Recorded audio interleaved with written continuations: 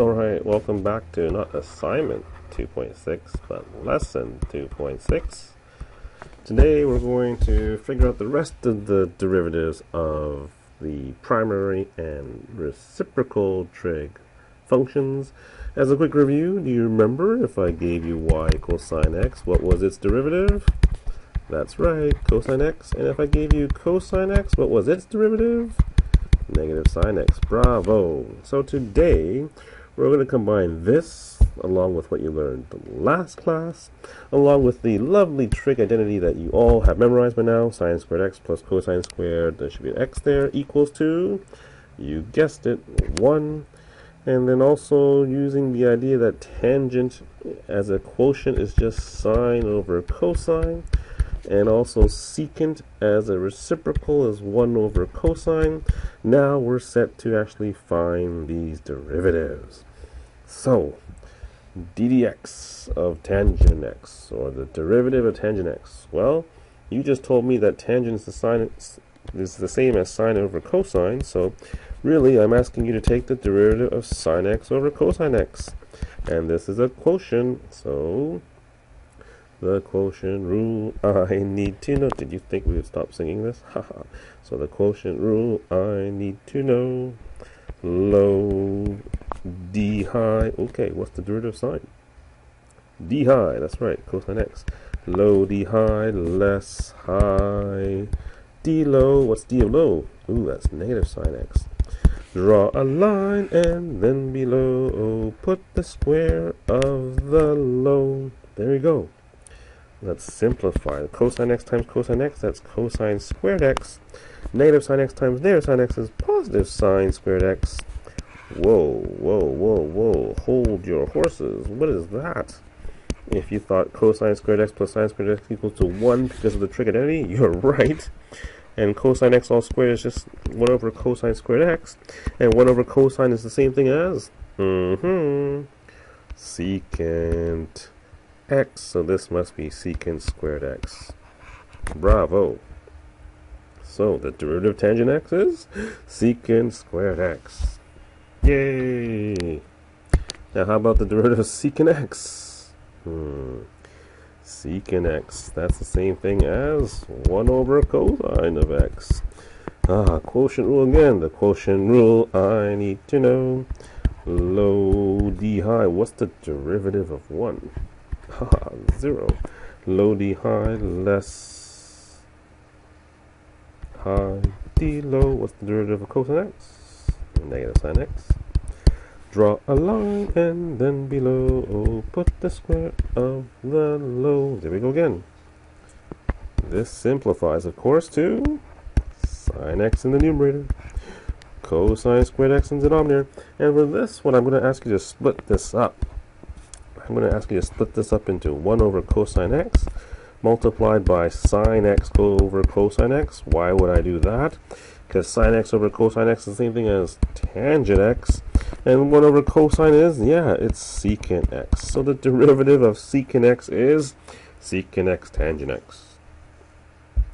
Now, that was two of them. And if you were to think, Ah, there's two more we haven't done. You are correct.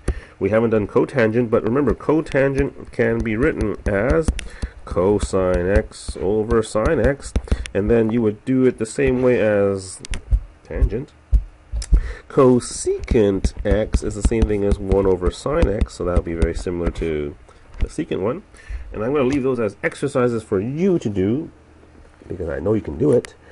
And when you're done, well, check the box below because this is what you need to know. Here are all the derivatives of the six trig functions that we commonly use. The derivative of sine, of course, is cosine. We did that before. Derivative of cosine is negative sine. We did that before. And now, today you learned this one. The derivative of tangent is secant squared x. And then you should have proven yourself that the derivative of cotangent is negative cosecant squared. Secant then becomes secant x tangent x, and cosecant x becomes negative cosecant x cotangent x. Now notice, notice, notice, notice, all the ones that start with c have derivatives that are negative. Okay? Okay? Okay, okay? So, Keep that in mind. Okay, the C's are all negatives. So from now on, these formulas can be used, making it unnecessary to use the quotient rule process for these simple functions. So yeah, don't use the quotient rule every single time. Just use these now. Okay. And like I said to you, hey, common errors involve signs. Can you see a quick way to remember them? I just told you. So if you're told, if you were listening, you should write this down. You should know. If you didn't, rewind the video and figure out what I just said. All right. Things in a box. Yeah, you know what I say. Memorize. Okay, so now let's just do a few quick examples here. Can you please differentiate the following without the calculator? So we have 4 cotangent x. Well, that 4 is a constant. We'll just ignore it. And then the derivative of cotangent is negative cosecant squared x. And we can just write this as negative 4 cosecant squared x. That's it. Ah, number 2. e to the x times tangent x. Did you hear me say that? e to the x times tangent x. A, B a prime, which is just e to the x, b plus b prime. Okay, what's the derivative of tangent x now? Secant squared x. Good. A. And then, like I said before, if you want to factor out the e to the x, you can. You don't necessarily need to, but hey, I already started it. Let me finish it. Done. Alright, ooh, I see quotient rule, the quotient rule I need to know.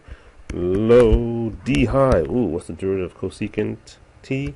That's negative cosecant T cotangent T. Remember, you have to have these memorized. Low D high, less high, D low, and derivative of T squared is 2T. Draw a line and then below put the square of the low. So t squared squared is just t to the power 4. And I'm not even going to simplify this one. You can if you want, but I'm not going to. Okay? Alright, number 4. Ooh, product rule again. I'll let you try this one yourself, please. And then you sing the song. I want to hear you sing. I know I can't really hear you sing, but humor me. Sing. Mm-hmm. A prime E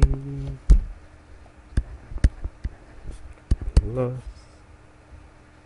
B prime A. And once again, I'm not going to simplify this. We're done. Okay. Alright, and then uh, I could give you some applications. There's a standard one, find the slope of the graph. We know that finding the slope of a graph means just to find the derivative, and then we just plug in the point. So the derivative of negative 3 tangent x is just negative 3 secant squared x. In this case, we have to plug in uh, secant squared of pi over 4, which is really secant pi over 4 all squared. So this might be a little bit tricky for you, but remember pi over 4 is 45 degrees. So you get a nice 1, 1 root 2 triangle. Secant is the same thing as 1 over cosine. Cosine is adjacent over hypotenuse.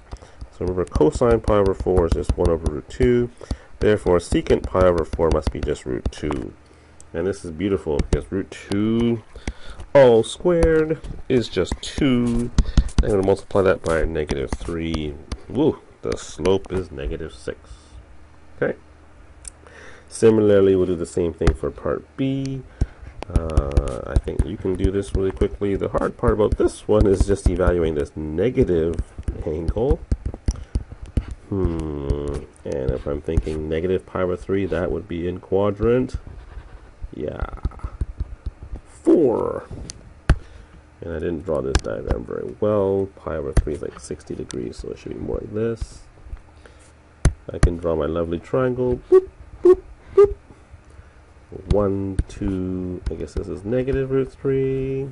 Cosine, once again, is adjacent over hypotenuse.